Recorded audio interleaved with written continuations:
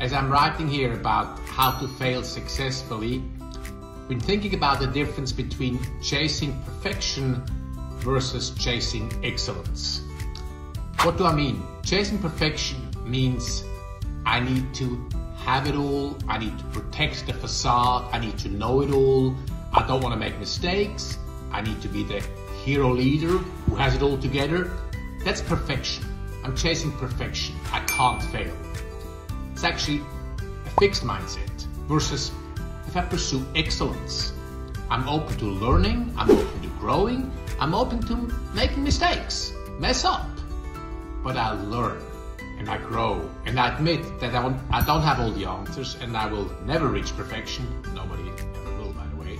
So, what mindset do we all have? Are we chasing perfection or are we chasing excellence?